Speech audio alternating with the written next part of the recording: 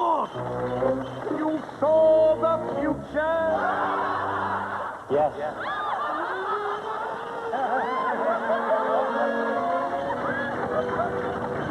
in this future, Mr. Gordon, your house is actually paid for. yes. yes. Ah.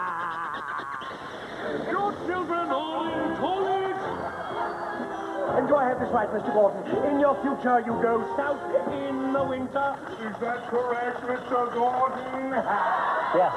South. Heavens, Mr. Gordon, do you really believe that this, this, this faith in the future is the sign of a sane individual man? Yes. Yes, I do. Starting May 17th, it is possible.